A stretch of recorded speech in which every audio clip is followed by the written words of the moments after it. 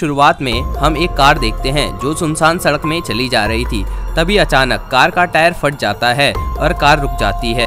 और कार रुकने के बाद कार से छह लोग बाहर निकलते हैं, जिसमें तीन लड़के व तीन लड़कियाँ होती हैं, जिनके नाम टोड और उसकी गर्लफ्रेंड सारा और उनके दोस्त जॉडी, कैरन, जैक और बैरिक होते हैं।